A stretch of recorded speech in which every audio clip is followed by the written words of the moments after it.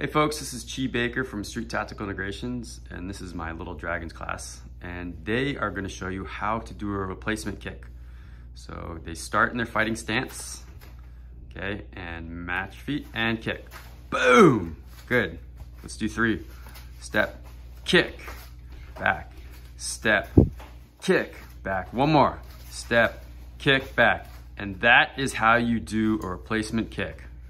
Thank you so much to the Little Dragons. Subscribe, put a big thumbs up, and ring the bell for notifications.